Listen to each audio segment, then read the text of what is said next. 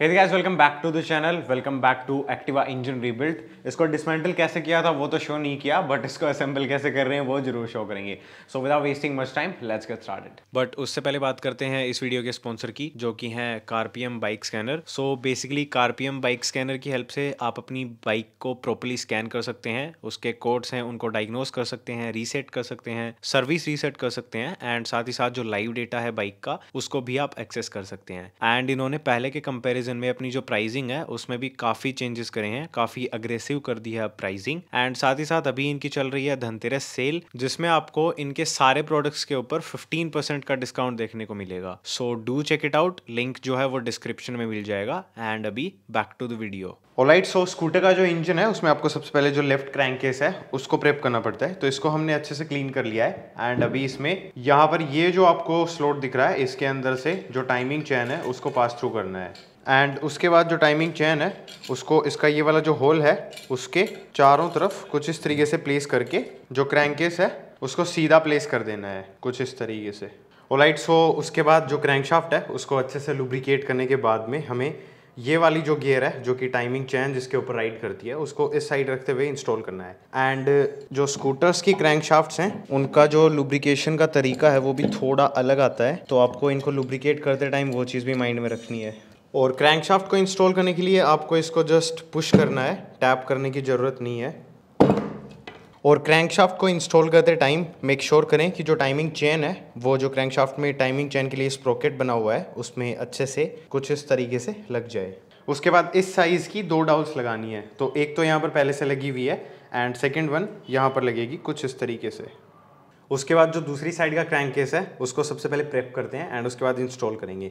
तो सबसे पहले तो इसका ये वाला जो सेक्शन है, जहाँ पर क्रैंक शाफ्ट का बैरिंग लगेगा, उसको मैंने लुब्रिकेट कर लिया है। साथ ही साथ यहाँ पर एक ऑयल सील लगती है, उसको भी मैंने लुब्रिकेट कर लिया है। एंड ऑयल सील में जो ओपन सेक्शन है मीन्स जो ये दो हिस्से हैं, इनके बीच में जगह है, इस साइड ये क्लोज है तो ये क्लोज वाला हिस्सा नीचे की तरफ़ रहेगा और ये जो बीच में सेक्शन बना हुआ है ऊपर की तरफ़ रखते हुए यहाँ पर जो ऑयल सील है, उसको हल्के हाथ से पुश करके स्लोट कर देना है। इतना कि जो ऑयल सील का फेस है, वो ये जो सरफेस है, इससे ऊपर ना हो और ज़्यादा नीचे भी पुश नहीं करना है हमें। ऑलमोस्ट इसके बराबर रहना चाहिए। उसके बाद ये जो सरफेस है बिकॉज़ इसमें गैसकेट नहीं लगता है मीन्स पेपर गैसकेट नहीं लगता है तो इस पर हम थ्री बॉन्ड अप्लाई कर रहे हैं। आप चाहें तो किसी भी टाइप का आर टी सिलिकॉन यूज़ कर सकते हैं, आपकी मर्ज़ी। तो कुछ इस तरीके से इस पूरे सरफेस पे मुझे ये जो सिलिकॉन है, इसको अप्लाई करना है।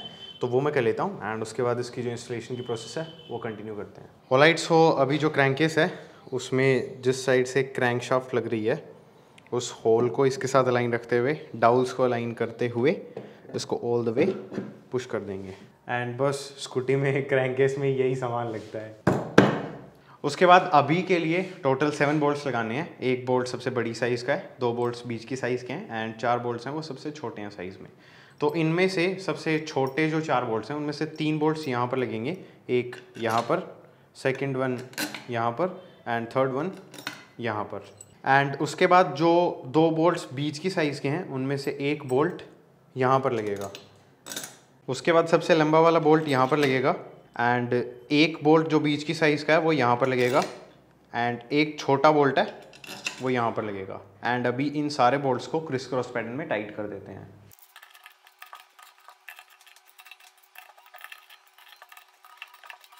उसके बाद इन दोनों स्लोट्स में ये दो डाउल्स लगेंगी। एक यहाँ पर एंड सेकंड वन है यहाँ पर। उसके बाद ये इसका ऑयल पंप है तो इसको असेंबल कर लेते हैं। सबसे पहले जो इसकी ये वाली वॉल है, इस पर थोड़ा सा इंजन ऑयल अप्लाई करेंगे। उसके बाद इसका ये एक प्रोपेलर है, इसको लगाएँगे। इसमें किसी भी टाइप का मार्क नहीं है, इसलिए मैंने इसको ऐसे ही ड्रॉप कर दिया। उसके बाद बारी आती है ये वाला प्रोपेलर है, इसको लगाने की। तो वैसे जितना मैंने देखा है, आप ये बाई डायरेक्शनल हो गए हैं तो आप इनको कैसे भी लगा सकते हैं बट स्टिल इसमें यहाँ पर एक डॉट बना हुआ है जो कि निकालते टाइम अंदर की तरफ़ था एंड बिकॉज़ ये इंजन हमने पहली बार डिसमेंटल किया है तो इसलिए हम इस पर ट्रस्ट कर सकते हैं। सो so, ये ऐसे लग गया उसके बाद थोड़ा सा ऑयल का लेयर है वो यहाँ पर रब कर देंगे थोड़ा इंजन ऑयल यहाँ पर ड्रॉप कर देंगे एंड उसके बाद इसकी जो ये कैप है इसको इन तीनों स्लॉट्स के साथ अलाइन करके यहाँ पर ये एक छोटा सा स्क्रू लगेगा और इसकी हेल्प से ये टाइट हो जाएगा। और इसको टाइट करते टाइम मेक श्योर करें कि ये दोनों जो स्लॉट्स हैं वो अलाइन रहें। ओलाइट सो अभी ये वाला जो सेक्शन है, जहाँ पर हमने स्क्रू लगाया है, उसको नीचे की तरफ़ ये खड्डा बना हुआ है, इसकी तरफ़ रखते हुए, इसको जो डाउल्स हैं, उनके साथ अलाइन करते हुए कुछ ऐसे प्लेस करना है। एंड अभी जो ऑयल पंप है, उसके बोल्ट्स को लगाने की बारी है। बट इसमें डिसमेंटलिंग के टाइम पे ये दो बोल्ट्स निकले थे। एंड इनकी वजह से जो यू नो थ्रेडिंग है, जितना उसमें थ्रेड बना हुआ है, वो ये यहाँ तक बहुत ही कम कैच कर रहे हैं। तो मुझे थोड़ा सा रिस्क लग रहा है, इसलिए मैं इनसे थोड़ी सी बड़ी साइज़ के जो बोल्ट्स हैं, वो यूज़ कर रहा हूँ। एंड जो साइज़ मैं यूज़ कर रहा हूँ, उसकी वजह से अंदर क्रैंकेस में किसी भी टाइप की कोई भी क्लियरेंस प्रॉब्लम नहीं आ रही है।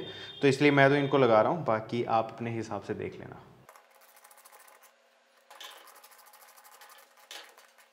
एंड अभी इंस्टॉल करते हैं, जो ऑयल पंप की ड्राइव गियर है उसको।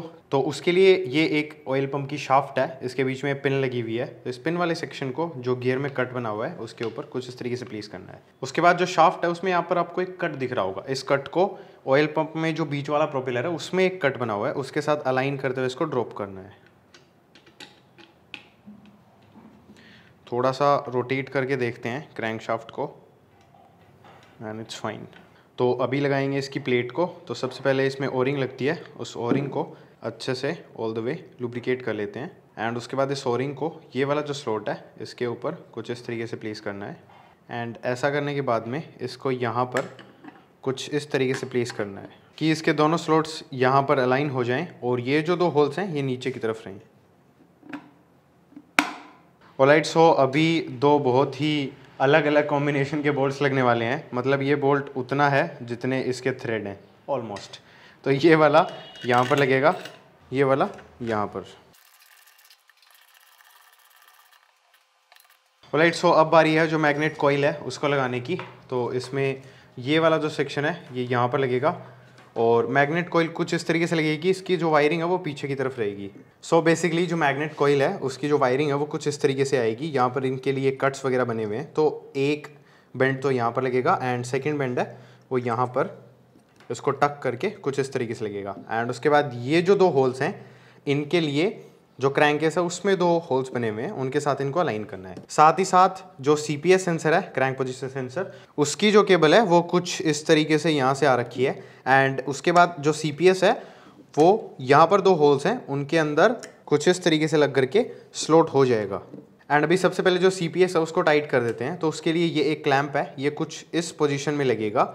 कि ये जो प्लेट है, ये नीचे की साइड रहे, जिससे कि ये जो केबल है, इसको होल्ड कर सके। एंड फिर लगेंगे इसके दो एट मिलीमीटर के बोल्ट्स तो सबसे पहले इन दोनों को टाइट कर लेते हैं। एंड अभी यहाँ पर वायरिंग को स्टॉप करने के लिए एक प्लेट लगानी है, जो कि कुछ इस तरीके की दिखती है। एंड इसमें एक फाइव मिलीमीटर का एल एन बोल्ट लगेगा। तो इसको कुछ इस तरीके से होल्ड करके टाइट कर देना है। उसके बाद ये दो एट मिलीमीटर के बोल्ट्स लगाने हैं, एक यहाँ पर। एंड एक यहाँ पर, और इनको टाइट करना है। उसके बाद बारी आती है जो मैग्नेट है, उसको इंस्टॉल करने की। तो मैग्नेट में ये वाला हिस्सा अंदर की तरफ़ रहेगा। एंड जो क्रैंक शाफ्ट है, उसमें यहाँ पर एक वुडरफ की लगती है, जो कि इसकी निकल ही नहीं रही थी तो हमने इसको फोर्स नहीं किया। अगर यहाँ पर वो नहीं हो तो आपको उसको प्लेस करना है। अदरवाइज़ जो मैग्नेट है, उसमें जो स्लोट बना हुआ है, उसको जो वुडरफ की है, उसके साथ अलाइन करते हुए इसको इंस्टॉल कर देना है। उसके बाद सबसे पहले एक वॉशर को प्लेस करेंगे एंड फिर इसका जो नट है उसको टाइट करना है। एंड जो मैग्नेट है उसको होल्ड करने के लिए एक यूनिवर्सल मैग्नेट होल्डर आता है तो उसकी हेल्प ले रहा हूँ मैं। एंड अभी ये जो 14 मिलीमीटर का नट है इसको टाइट करना है। राइट सो so, अभी इसका फ़ैन लगाना है बट उससे पहले जो मैग्नेट है उसको टॉप डेड सेंटर पर लेके आते हैं। तो इसमें यहाँ पर एक स्लॉट बना हुआ है जिसको यहाँ पर ये जो लाइन है इसके पैरेलल रखेंगे तो अभी जो क्रैंक है वो टॉप पोजीशन पर है। तो अगर यहाँ पर पिस्टन होता तो वो भी टॉप डेड सेंटर पर होता। सो so, इसका मार्क हो गया। अब इस पोजीशन में हमें जो फ़ैन है उसको ये वाला जो एरो है इसके साथ यहाँ पर जो एरो है उसको मैच करना है। बिकॉज़ हम फ़ैन से अगर टीडीसी फाइंड आउट करेंगे तो यहाँ पर करेंगे। और अगर मैग्नेट से करना है तो अभी मैंने बताया वहाँ से करेंगे। सो so, इसके तीनों होल्स को यहाँ पर प्लेस करना है। एंड जब मैग्नेट टीडीसी पर आ रहा है उस मार्किंग में तभी जो हमारा फ़ैन है वो इस मार्किंग पे टीडीसी पर आ रहा है। विच मीन्स की ये स्लॉट परफेक्ट है। अभी हम इन तीनों बोल्ट्स को टाइट कर सकते हैं। एंड अभी इसके तीन बोल्ट्स हैं, उनको लगाते हैं। तो इन पे थोड़ा सा थ्रेड लॉकर यूज़ किया मैंने। एंड अभी बारी है एक साइड की, जो टाइमिंग चेन की गाइड है, उसको लगाने का। एंड अभी इसमें ये वाला जो सेक्शन है, इसको अंदर की तरफ़ रखेंगे। और ये वाला जो सेक्शन है, इसको बाहर की तरफ़ रखते हुए, जो स्लोट है, इस स्लोट से ये वाला जो होल है, इसके बराबर लेकर के आना है। उसके बाद इसका 8 मिलीमीटर का एलएन बोल्ट लगाना है, जो कि कुछ इस तरीके का दिखता है। इसमें यहाँ पर एक ओरिंग है मेक श्योर ये अपनी पोजीशन पर हो। एंड उसके बाद इसको यहाँ पर कुछ इस तरीके से लगा करके, जो इसका थ्रेड है, उसके साथ इसको अलाइन करके टाइट कर देंगे। एंड टाइट करने से पहले इसकी जो ओरिंग है, उसको अच्छे से लुब्रिकेट कर लेना है। अभी जो क्रैंकशाफ्ट है, उसमें ये वाला जो सेक्शन है, इसको लुब्रिकेट करते हैं एंड इसका ये जो आउटर सरफेस दिख रहा है, इसको भी अच्छे से लुब्रिकेट करना है। उसके बाद जो ऑयल सील हम यहाँ पर इंस्टॉल कर रहे हैं, उसको भी मेक श्योर लुब्रिकेट कर लें एंड अभी इसको यहाँ पर कुछ इस तरीके से बहुत ही केयरफुली स्लाइड करके इंस्टॉल करना है। उसके बाद जो ऑयल सील है, उसकी एक स्टॉपर प्लेट आती है, उसको लगाना है। तो इसके दोनों होल्स हैं, उनको मैच करते हुए लगाना है इसको एंड उसके बाद इसके दो टेन मिलीमीटर के बोल्ट्स हैं, उनको दोनों स्लोट्स में लगा करके टाइट कर देना है। अभी बारी आती है दो डाउल्स हैं उनको लगाने की, जो कि दोनों इस साइड वाले जो ये स्टड्स हैं, इनमें यहाँ पर जो स्लोट्स हैं, उनमें लगेंगी। एक यहाँ पर एंड सेकंड वन यहाँ पर। ऑलराइट सो अभी एज ए नेक्स्ट स्टेप जो टाइमिंग चैन है, उसको इसका जो स्लोट है, एक बार उसमें ड्रॉप कर देंगे। और ऐसा आपको तभी करना है जब आपके पास मैग्नेट पेन हो अदरवाइज़ आपको इसको एक वायर से बांधना है। और अभी बारी है जो सिलेंडर किट है, उसको इंस्टॉल करने की। तो इसके पार्ट नंबर और प्राइसिंग आप देख सकते हैं। वैसे इसकी जो रिवाइज प्राइसिंग है, वो यहाँ पर लिखी हुई है। जैसा कि अपने टीवीएस वाले वीडियो में भी मैंने बताया था तो आजकल ज़्यादातर कंपनियाँ यही सब करने लग गई हैं। और सिलेंडर किट में अभी हमें सिर्फ़ पिस्टन है, उसकी ज़रूरत है। तो पिस्टन के ऊपर जो पिस्टन इंक्स है, उनको मैंने प्लेस कर लिया है। एंड ये मैं काफ़ी बार दिखा चुका हूँ तो इसलिए अभी इसको मैंशन नहीं कर रहा हूँ। एंड उसके बाद पिस्टन में जिस साइड आईएन लिखा हुआ है, उसको इनटेक की तरफ़ मीन्स जिस साइड कार्बोरेटर लगता है उस तरफ़ रखते हुए कुछ इस तरीके से इन स्ट्रट्स के बीच में से यहाँ पर प्लेस करना है। एक साइड की जो पिस्टन पिन की सर्कली पे हमने मैंने लगा दी है एंड अभी जो पिस्टन पिन है, उसको इस साइड से इंस्टॉल करना है। बट उससे पहले इसको लुब्रिकेट कर लेंगे अच्छे से। और जो पिस्टन और कनेक्टिंग रोड है, उसको मैंने ऑलरेडी लुब्रिकेट कर लिया है। और अभी ये जो ओपन सेक्शन है इसमें एक क्लोथ है, उसको प्लेस करेंगे, जिससे कि इस साइड की सर क्लिप जब हम लगाएँ तो वो अंदर ना गिर जाए। एंड अभी ये वाली जो क्लिप है, इसको यहाँ पर एक स्लॉट बना हुआ रहता है, उसके अंदर फिट करना है। और ये जो प्रोसेस है, ये भी बहुत सारी वीडियोस में रिपीट हो चुकी है तो इसलिए इसको मैं प्लेस कर लेता हूँ। एंड उसके बाद जो नेक्स्ट स्टेप है, उसकी तरफ़ मूव ऑन करेंगे। और लाइट सो अभी ये जो गैसकेट है, इसको कुछ इस पोजिशन में रख करके हमें यहाँ पर प्लेस करना है, जिससे कि ये वाला जो होल है, ये इस साइड यहाँ पर एक होल है, उसके साथ मैच हो जाए। एंड यहाँ पर ये जो होल है, ये नीचे की साइड एक होल है, उसके साथ मैच हो जाएगी। तो इसके जो स्टड्स हैं, उनके साथ इन होल्स को अलाइन करते हुए, जो इसकी येलो साइड है, उसको ऊपर रखते हुए प्लेस करेंगे। एंड देन इसको ऑल द वे यहाँ पर कुछ इस तरीके से प्लेस करना है। उसके बाद बारी आती है जो सिलेंडर है, उसको इंस्टॉल करने की।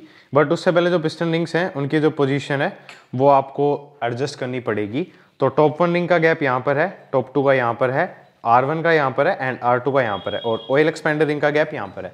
और ये इतना ब्रीफली इसलिए बता रहा हूँ बिकॉज़ पीछे वाली जो वीडियोस है ना, उनमें ये सारी चीज़ें बहुत ही ज़्यादा डिटेल में कवर करी जा चुकी हैं। तो इसलिए अभी सीधा जो सिलेंडर है, उसको इंस्टॉल करते हैं। और इसमें ये वाला जो स्लोट है, इसको इस साइड रखना है। उसके बाद जो पिस्टन है, उसको काफ़ी केयरफुली जो सिलेंडर है, उसके अंदर इंस्टॉल करना है।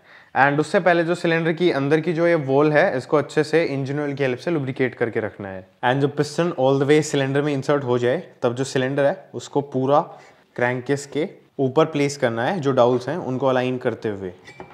जस्ट लाइक दैट एंड अभी जो सिलेंडर है, उसको होल्ड करके, जो मैग्नेट है, उसको रोटेट करके पिस्टन उसको टॉप पर लेकर के आना है। एंड जो भी एक्सेसिव ऑयल यहाँ पर निकल रहा है, उसको वाइप ऑफ़ कर लेना है। उसके बाद इन दोनों स्टड्स में दो लोकेटिंग डाउल्स लगानी है। उसके बाद लगाएँगे ये दूसरी वाली गाइड तो इसके पार्ट नंबर एंड प्राइसिंग आप देख सकते हैं। इसमें ये वाला जो सेक्शन है, इसको यहाँ पर ये जो स्लॉट बना हुआ है, इसमें फिट करना है। तो ये वाला सेक्शन अंदर की तरफ़ जाएगा। बट उससे पहले जो टाइमिंग चेन है, उसको ऑल द वे बाहर निकाल लेते हैं। एक बार इसको थोड़ा सा रोटेट करके देखेंगे कि अपने ग्रूज में प्रॉपरली लगी हुई है क्या। एंड उसके बाद ये जो गाइड है, इसको नीचे की साइड रखते हुए कुछ इस तरीके से प्लेस करना है। एंड मेक श्योर करना है कि ये यहाँ पर और नीचे लॉक हो जाए। एंड उसके बाद एक बार फिर से जो टाइमिंग चैन है, उसको सिलेंडर को होल्ड रखते हुए रोटेट करके देखेंगे। अभी टाइमिंग चैन है, उसको फिर से ड्रॉप कर देते हैं थोड़ा सा यहाँ पर प्लेस करते हैं जो हेड गैसकेट है, उसको कुछ इस तरीके से। हेड गैसकेट में डायरेक्शन आप यहाँ से चेक कर सकते हैं। ये जो दो सेक्शन सुबरे में ये यहाँ पर लगेंगे, जो गाइड हमने लगाई है वहाँ पर। और अभी बारी है जो सिलेंडर हेड है, उसको लगाने की। लेकिन उससे पहले जो सिलेंडर हेड है, उसको प्रेप करना पड़ेगा। तो सबसे पहले जो वाल्व हैं, उनको इंस्टॉल करेंगे एंड देन उसके बाद जो रोकर्स हैं एंड जो कैम शाफ्ट है, उसको। तो सबसे पहले यहाँ पर एक रिटेनर प्लेट लगती है, उसको कुछ इस तरीके से प्लेस करेंगे। उसके बाद जो वाल्व की गाइड है, उसमें बाहर की तरफ़ एंड अंदर की तरफ़ ऑयल है, उसको डिप करेंगे एंड फिर वाल्व की जो ऑयल सील है, उसको इसके ऊपर रख करके पुश कर देंगे। उसके बाद जो हेड है, उसको फ्लिप करके, अब बिकॉज़ हम इनटेक की साइड काम कर रहे हैं तो हम इनटेक वाला जो वाल्व है, वो यूज़ करेंगे। बेसिकली एग्जॉस्ट वाल्व इनटेक के कंपैरिजन में छोटा होता है। एंड यहाँ पर एक चीज़ और है, जो इनकी जो सरफेसिंग की प्रोसेस है, उसको वाल्व लैपिंग बोलते हैं। तो आप मेक श्योर करें कि वो आपने करवा ली हो। अगर खुद से करते हैं तो खुद ने कर ली हो। उसके बाद इसका जो स्टेम है, उसके ऊपर ऑयल लगाएँगे। एंड फिर इसको कुछ इस तरीके से इंस्टॉल कर देंगे। उसके बाद प्लेस करेंगे इसकी जो वाल्व स्प्रिंग है उसको, और वाल्व स्प्रिंग में जिस साइड पेंटेड एरिया है, उसको ऊपर की तरफ़ रखते हुए इसको यहाँ पर प्लेस करेंगे। फिर लगानी है इसकी ऊपर की साइड वाली रिटेनर कैप एंड उसमें दो कोलेट्स हैं वाल्व कोलेट्स बोलते हैं इनको इनको प्लेस करना है। इनको एक दूसरे के अपोजिट प्लेस करना है। उसके बाद जो वाल्व है, अगर आपके पास कंप्रेशन टूल है देन आप उसको यूज़ करें। अदरवाइज़ आप एक वाल्व की डायमीटर का सॉकेट है, उसको यहाँ पर प्लेस करके, जो हेड है, उसको फ्लैट सरफेस पे रख के कॉलेट्स हैं, उनको बाहर की तरफ़ से होल्ड करते हुए, जो कैप है, उसको प्रेस करेंगे तो ये जो वाल्व है, उसमें यहाँ पर जो कट आता है, उसके अंदर जो कॉलेट्स हैं, वो जाकर के लॉक हो जाएँगी एंड कुछ इस तरीके से जो वाल्व है, उसको इंस्टॉल किया जाता है। एंड अभी जो प्रोसेस मैंने इनटेक के लिए बताई एग्जैक्ट सेम प्रोसेस है वो एग्जॉस्ट के लिए होने वाली है तो वो मैं कर लेता हूँ एंड देन उसके बाद आगे की स्टेप की तरफ़ मूव ऑन करते हैं। उसके बाद बारी आती है जो कैम है, उसको इंस्टॉल करने की। तो इसमें जिस साइड छोटा बेरिंग लगा हुआ है, वो अंदर की तरफ़ रहेगा एंड इसको कुछ इस तरीके से लगा करके अंदर की साइड पुश करना है। उसके बाद बारी आती है जो रोकर्स हैं उनको लगाने की। तो इसमें आप देख सकते हैं, इनमें मार्किंग्स बनी हुई है। एक रोकर है, उस पर आई लिखा हुआ है एंड जो दूसरा रोकर है, उस पर ई लिखा हुआ है। तो ई e लिखा हुआ जो रोकर है, वो एग्जॉस्ट की साइड लगेगा एग्जॉस्ट वाल की तरफ़ एंड आई लिखा हुआ जो रोकर है, वो इनटेक वाल की तरफ़ लगेगा। तो अभी एग्जॉस्ट की साइड का जो रोकर है, उसको यहाँ पर कुछ इस तरीके से प्लेस करना है। उसके बाद बारी है, रोकर शाफ्ट हैं उनको लगाने की। तो ये दोनों आइडेंटिकल हैं, किसी को भी आप किसी भी साइड लगा सकते हैं। बस इनमें एक चीज़ ध्यान रखनी है कि इनमें एक साइड होलो है और उसमें थ्रेड्स बने हुए हैं, जो कि इनको निकालते टाइम हमें हेल्प करती है। तो जिस साइड थ्रेड्स हैं, उसको बाहर की तरफ़ रखना है एंड कुछ इस तरीके से लुब्रिकेट करके इसको ऑल द वे इंसर्ट कर देना है। And same process intake side होगी। अब बारी आती है सिलेंडर हेड है, उसको प्लेस करने की। तो इसमें जिस साइड कैम्पशाफ्ट का ये वाला सेक्शन है, और कट बना हुआ है, उसको यहाँ पर रखना है। एंड उसके बाद इसके जो चारों होल्स हैं, उनको स्टड्स के साथ लाइन करते हुए, जो हेड है, उसको ऑल द वे कुछ इस तरीके से इंस्टॉल कर देंगे। उसके बाद लगाएँगे इसके चारों वॉशर्स को। चारों जो वॉशर्स हैं, वो सेम है। एंड फिर बारी आती है इसके जो नट्स हैं, उनको लगाने की। तो चारों नट्स हैं, वो भी सेम है। एंड अभी इन चारों नट्स को क्रिस क्रॉस पैटर्न में टाइट करना है। एंड आई विश कि इनके टॉक्स पैक्स अपने पास होते। बट नहीं है। सो so इनको एक्सपीरियंस एंड फील के बेसिस पर ही टॉक करना पड़ेगा। बट एक चीज़ आप मेक श्योर sure करें कि जितने भी फोर्स पर आप इनको टॉर्क कर रहे हो, जो कि आपको एडुकेट लगे जस्ट मेक श्योर कि आप चारों जो स्टड्स के जो नट्स हैं, उनके ऊपर वो force almost equally because equally तो आप टॉर्क रेंज से ही मेजर कर सकते हैं बट ऑलमोस्ट इक्वली अप्लाई करके टाइट करें। अब बारी है टीडीसी है, उसको फाइंड आउट करने की। तो इसमें दो मेथड्स जैसे कि मैंने पहले डिस्कस किया था तो अभी ब्रीफली बता देता हूँ। बेसिकली यहाँ पर ये मार्किंग है एंड जो मैग्नेट है, उसमें यहाँ पर मार्किंग है। तो इन दोनों को कुछ इस तरीके से अलाइन करके होल्ड करके रखना है। जस्ट इन केस आप होल्ड नहीं करना चाहते हैं देन आप सबसे पहले स्पार्क प्लग लगा दें। वो थोड़ा कंप्रेशन को होल्ड रखेगा तो ये परफेक्टली टीडीसी पे रहेगा। एंड नीचे की साइड जो मार्किंग है, वो मैं पहले बता चुका हूँ। तो जो भी आपको ठीक लगे, आप वैसे कर लेना। एंड उसके बाद आप मेक श्योर sure करें कि जो कैमशाफ्ट है, उसमें ये जो हल्का सा एक उभरा हुआ सेक्शन है, ये ऊपर की तरफ़ ही रहे। अगर ये नीचे की साइड है देन आपको इसको ऊपर की तरफ़ लेकर के आना है। उसके बाद ये हमारा स्प्रोकेट है एंड इसमें के लिखा हुआ है, उसको ऊपर की तरफ़ रखेंगे। एंड ये जो पैरल लाइन है, ये ये जो सरफेस है, इसके पैरेलल एक इमेजिनरी लाइन हमें इमेजिन करके उसके बराबर में रखना है। सो so बेसिकली जो कैमशाफ्ट है, उसको कुछ इस तरीके से लगाना है। And piston top dead centre पे है, वो हमने देख ही लिया है मैग्नेट की हेल्प से। तो अभी जो स्प्रोकेट है उसको लगाते हैं। एंड उससे पहले हमें लगाना है एक वॉशर एंड एक 10 मिलीमीटर का बोल्ट जो कि कैमशाफ्ट है। उसको उसकी जो पोजीशन है वहाँ पर लॉक रखने में हेल्प करते हैं। ऑल राइट सो ये है परफेक्ट टाइमिंग नीचे टॉप डेड सेंटर एंड यहाँ पर ये कुछ इस तरीके से। सो so, अभी इसके जो दो 8 मिलीमीटर के बोल्ट्स हैं उनको यहाँ पर लगा करके टाइट करना है। एंड इनको काफ़ी केयरफुली लगाना है बिकॉज़ ये नीचे भी गिर सकते हैं। तो सबसे पहले आप एक को लगा दें। हैंड टाइट करने के बाद थोड़ा सा मैग्नेट को रोटेट करके जो सेकेंड वन है उसको भी लगा दें। उसके बाद मैग्नेट को होल्ड करके ये जो 8 मिलीमीटर mm के बोल्ट्स हैं इनको टाइट करना है। एंड इनको ज़्यादा टाइट ना करें अदरवाइज़ ये टूट जाएँगे। बट इसका मतलब ये भी नहीं है कि आप इनको बिल्कुल ही टाइट ना करें। So you have to find the balance and अभी मैग्नेट की हेल्प से जो इंजन है उसको पूरा एक 360 डिग्री रोटेट करना है। एंड उसके बाद फिर से जो टीडीसी है उसको मैच करके देखना है। सो so, मैग्नेट पे टीडीसी है एंड यहाँ पर भी जो पोजीशन है वो परफेक्ट है। अभी लगाएँगे गैसकेट चैन एडजस्टर का।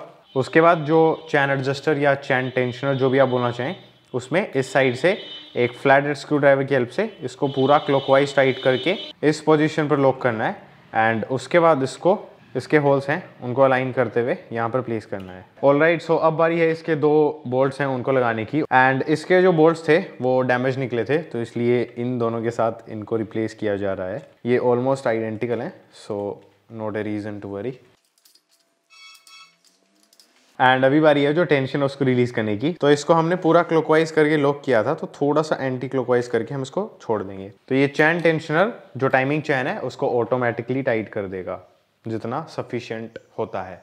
एंड इसको एक बार फिर से रोटेट करके चेक कर लेते हैं।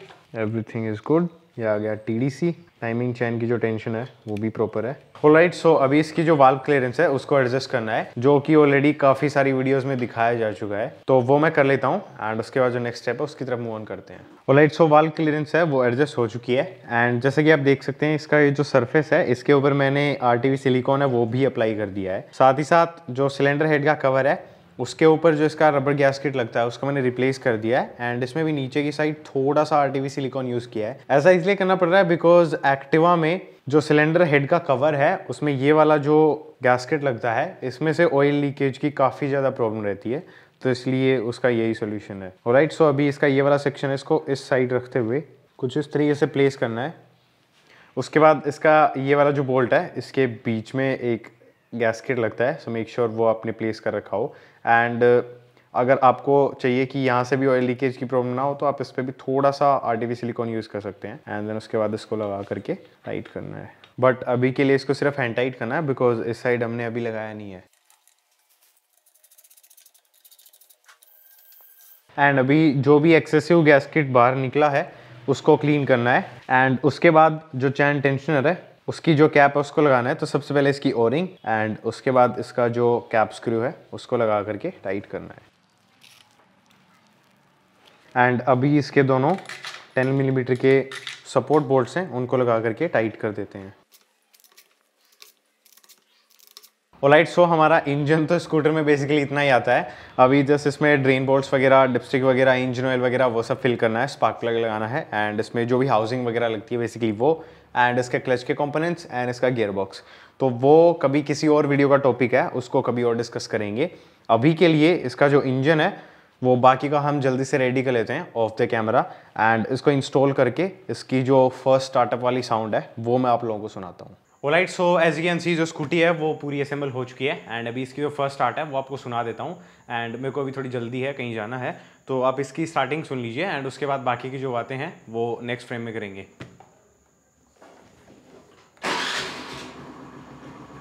सो so, ये इसका कोल्ड स्टार्ट है। थोड़ा सा रेव कर देता हूँ इसको।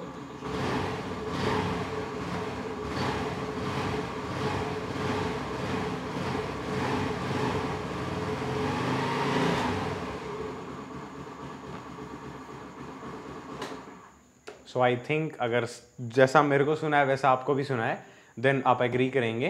कि जो आवाज़ है वो बहुत ही प्यारी है एंड इसकी साउंड से तो इम्पॉसिबल है बताना कि इसका इंजन का कोई भी टाइप का वर्क है, वो हुआ है या नहीं। All right so we are back and अभी बात करते हैं एक्टिवा में टोटल खर्चा कितना हुआ है।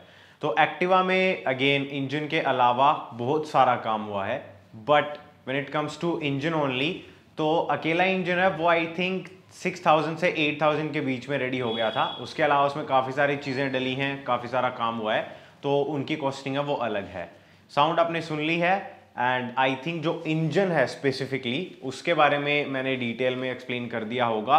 एंड रही बात गेयरबॉक्स की एंड जो उसका सी ट्रांसमिशन है उसकी तो वो सी तो मैंने कवर कर रखा है गेयर बॉक्स फिर कभी कवर कर देंगे, वैसे उसमें ज़्यादा कुछ है भी नहीं। But still I do that don't worry so that's about this video guys जो कारपीएम की सेल है उसको ज़रूर चेकआउट कर लेना। 15 परसेंट डिस्काउंट मिल रहा है सारे प्रोडक्ट्स के ऊपर। एंड इनका लाइनअप है वो भी काफ़ी ज़्यादा इंप्रूव हो गया है। साथ ही साथ अपडेट्स भी और ज़्यादा फ्रीक्वेंटली आने लग गए हैं। सो so, बस यही था इस वीडियो के लिए तो। आई होप इससे आपको कुछ सीखने को मिला होगा। अगर ऐसा है then do give it a like comment share subscribe and फिर मिलेंगे कभी किसी और वीडियो में। तब तक के लिए बाय